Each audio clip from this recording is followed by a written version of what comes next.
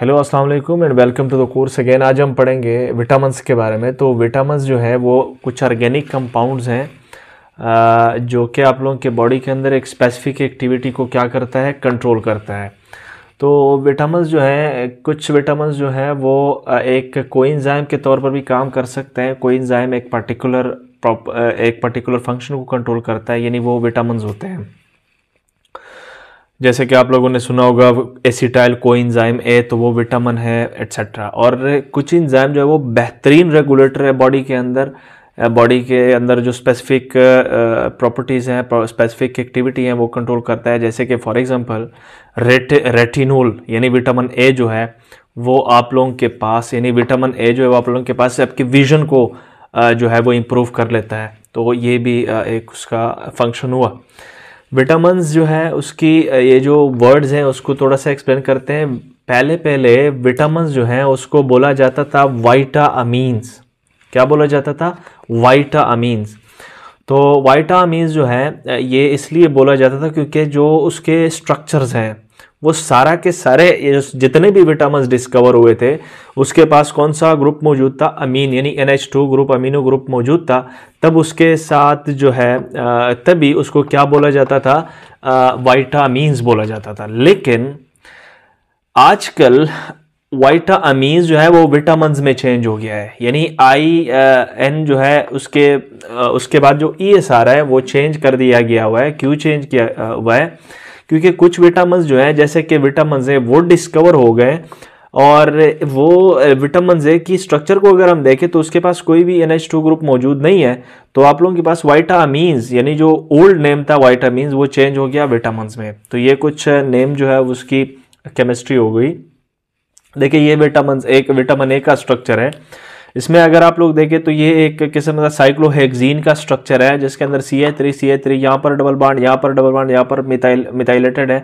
यहाँ पर डबल बाड यहाँ पर यानी एक कंजुगेशन है अल्टरनेट सिंगल और डबल बाड है और आ, आ, आ, लास्ट में आप लोगों के पास एक फंक्शनल ग्रुप भी अटैच है ओ एच इसलिए इसको हम कहते हैं रेटिनोल देखिए आप लोगों के पास दिख रहा है ओ एल यानी अल्कोहलिक ग्रुप भी उसके साथ मौजूद है और विटामिन ए के क्या रिस्पॉन्सिबिलिटी है विटामिन ए कि ये आप लोगों के पास जो विजन है, उसको इम्प्रूव कर लेता है।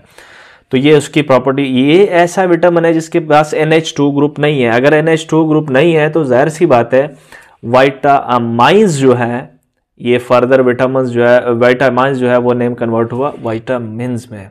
क्लियर है? तो कुछ ना कुछ आप लोगों ने सुना होगा विटामिन सी जो है वो इसको कहते हैं स्कॉर्बिक एसिड भी उसको क्या लेते हैं ये एंटीऑक्सीडेंट है। एंटीऑक्सीडेंट का क्या मकसद है? किसी भी बॉडी के अंदर अगर कोई रेडिकल यहाँ पर मैंने जनरली लिया हुआ है ए रेडिकल इंटर हो गया। रेडिकल क्या होते हैं? जिसके पास आ, क्या मौजूद है? एक सिंगल इलेक्ट्रॉन मौजूद हो अनपेड इलेक्ट्रॉन मौजूद हो। तो विटामिन सी जो है, ये इस, इसकी रेडिकल को क्या कर लेता है? कैप्चर कर लेता है। उसकी रेडिकल को न्यूट्रलाइज कर लेता है, क्योंकि अगर रेडिकल हुआ बॉडी के अंदर तो वो कार्सिनोजेनिक कैंसर काज कर सकता है।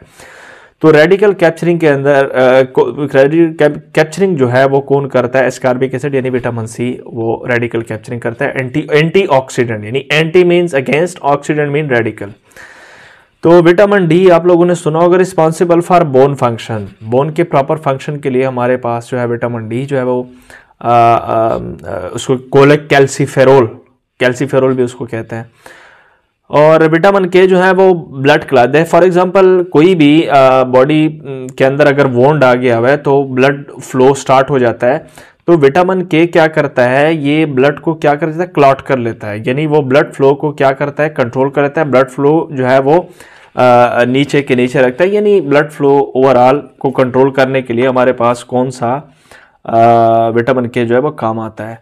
विटामिन बी कम्प्लेक्सेस जो है वो फिजियोलॉजिकल फ़ंक्शन के लिए यूज़ होता है, यानी किसी बॉडी के अंदर अगर फिजियोलॉजी जैसे फॉर एग्जांपल ब्रेन की प्रॉपर फ़ंक्शन के लिए विटामिन बी कम्प्लेक्सेस चाहिए, और हार्ट की प्रॉपर फ़ंक्शन के लिए, कोई भी बॉडी के ऑर्गन के प्रॉपर फ़ंक्शन के लिए विटामिन बी की ज़रूरत है नहीं है, एक किस्म का।